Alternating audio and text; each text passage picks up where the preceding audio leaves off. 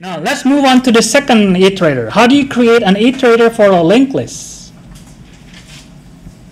So now the difference between an array and a linked list, with a linked list, then there's no guarantee that your elements will be at contiguous memory location, right? Because that's how it works. So now with a linked list, we know that begin must return the first element in my, in my array. Okay? So I'm using ND node, node 0, node 1, node 3, node 2, node, node 3. Okay? So this linked list physically holds four items. Okay? But we do have an extra item at the beginning and we do have an extra item at the end. Why? As you can see from here, in order to return n or to return rend, we need an imaginary item. Okay? For an array, because we know that the locations of my array elements are contiguous, then I can just simply return the address of the array plus a number, which is to the end of my array. Okay? Or my array minus one to get to get to the to the uh, address to the left of my array. Okay? But we cannot do a plus one, we cannot do a minus one on a linked list. Okay? So then the trick is we need to create two imaginary items. So the first imaginary item is here, and the second imaginary item is there. Okay? So when you when you call begin, begin will give you the address of that item. Okay? But when you call r and or no sorry and when you call and you will you need to give the a valid address because we cannot do plus one right for a linked list.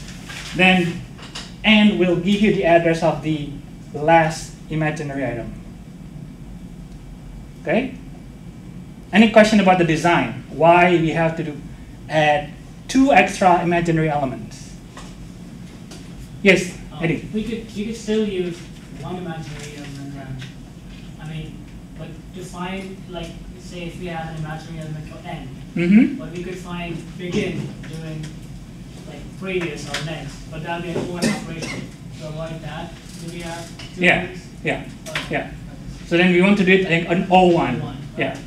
Okay? So we don't want to do make it an ON. We want to make it an O1. Exactly. Okay? So now we know that the first imaginary item will be used when you return rend, right? Because for reverse iterator, you need to return uh, the, uh, the address of the first imaginary item. Okay? Double linked list then? Yes, this is double linked list because you see the two pointers, right? Now, uh, let me uh, switch to the other handout. You know how to design a list in Java, and if you remember from 163, we do need to uh, create a, an inner class, right? The inner class will be the inner class for each node, okay? And I do have the list uh, class, which is the uh, outer class, and assuming this is like a generic class, Z, okay? So now you see the corresponding design in C++. If you see the code in Java like that, the corresponding design in C++ will be like this. And when I instantiate a list, so what you will see here is an empty list, right? How does it look like? So an empty list, basically, you have the head pointer, and you have the tail pointer, and now you have the, the two imaginary elements. Okay, so that's how we set up, and if you look at the code, that's what we need to do. My code is not complete. I don't, I'm running out of space here. I need to initialize the previous, I need to initialize the, uh, I don't, I don't have the initialization for previous uh, yet there, but basically that's the design. Now, how do I place a new item at the end? So now let me switch to Xcode. Yeah, let's complete my uh, pushback here. So then you know later how to write your pop front. So pushback is to add an item to the end of the list, right? So let's say if I already have uh, several items in here, so I want to insert S after K. So how do I insert S into my list? Okay, that next. I need to instantiate a, a node first, right? Oh, yeah. Okay, I need to insert, insert in a node. Okay, so now I have the node for S, and then I need to place the item. Okay, into the data portion, right? So how do you link up? How do you link up my S to the rest of the? Okay, keep going. What is your name again? Chris, Chris, keep going. would you do, so there's, there's a previous method or previous function? Uh, pr- previous is uh, just an instance variable. So previous and next are up here. Yeah. So previous and next is part of the node, right? So my node is here. Okay. So you Okay. do, would you do tail dot previous dot Okay. next? Okay. Okay. Wait. Wait. Wait. Tail previous And next. Equals S. Yep. And then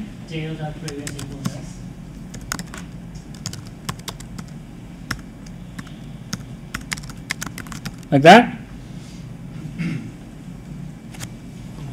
So tail that previous that next you're changing the next of k, right? So this is you're changing the next of k, isn't it?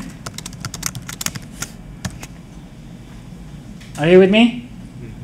Tail tail is pointing to the last imaginary item. From there you follow the previous. The previous will take you to k, and then from there you update the next of k. Okay? So now you want to change that to point to s, which is correct. So you do the first one. That one is not correct. Okay? And then what next? Tail previous. You want to change that to point to here. Correct. Now how do you link up that and that? As previous is K. As previous is, how do I know the address of that one? We lost it. We lost it. We lost it. So we have to do it first. Okay? So then what you want to do is what? As the previous is what?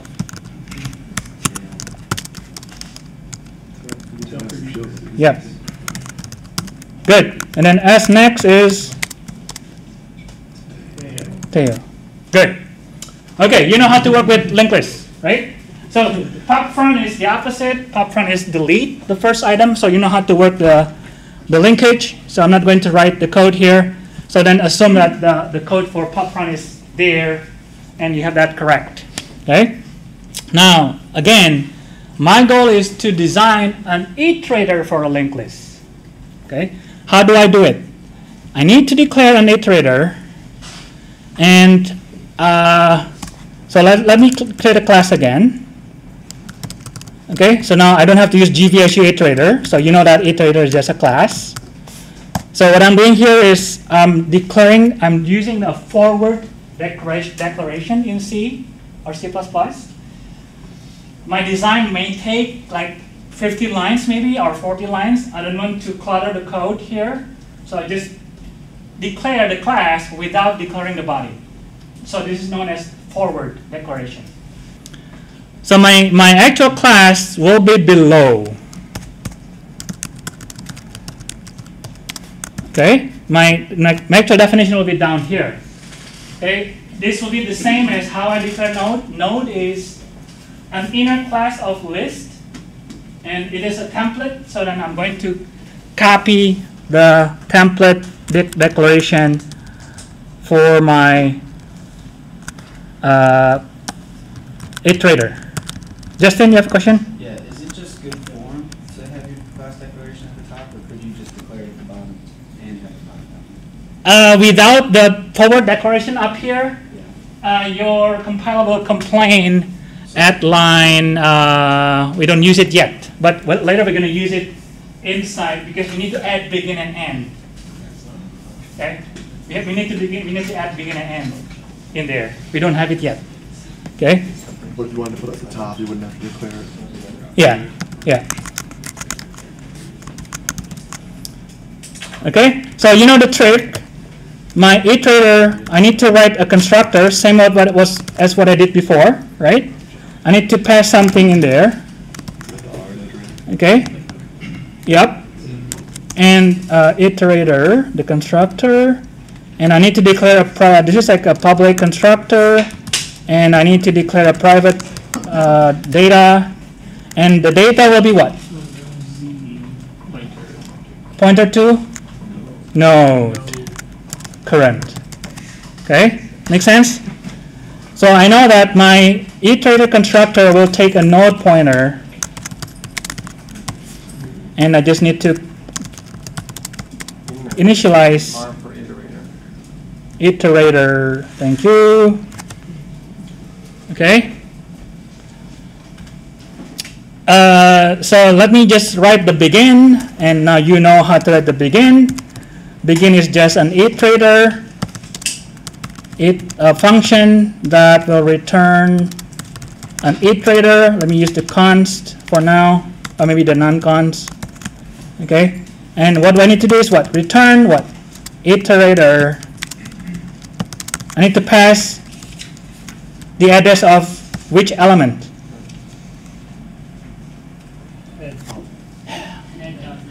head.next, right? Because remember my diagram?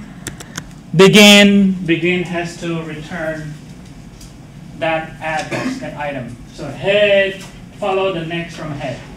Okay? So then my iterator here will have to say head.next. Okay? That's how I do begin and uh, and let me complete the plus plus in here. So you you know how to do plus plus. So the plus plus will be iterator, uh, iterator reference operator plus plus. This is for the prefix. And what what do I return? Uh, What do I do? I need to update current to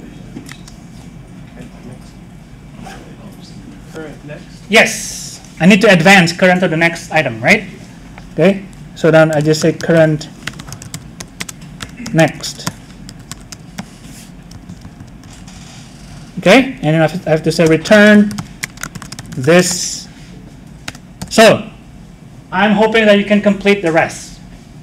Yes, Joshua. Why in begin do you return um, a copy, but in the um, plus plus you return a address? Ah, good question. Good question. Why do we? Okay, let me fix the error here first. Let me return. Uh, what's wrong? Uh, return star this. Maybe I need to recompile. Yep. Okay. Good question. Why do I want to return a copy? Because you create a new object. That object is local. Right? That object is local. So then when you create a local object, when you return, you need to return a copy. If you return a reference, then that will be a dangling reference because your local object will disappear Um, because that, remember, local object is created on your stack, right? Okay? So I'm hoping that you know how to complete the rest. Okay? So uh, the let me let me just use one more, and then I will let you go. So, what do I do for my oops? What do I do for my uh, operator operator star? What is the what is the return value?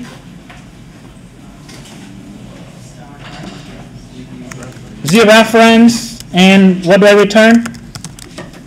Current. What do I want to return here? It should give you the Data. item in your node exactly. So then I want to return data, right?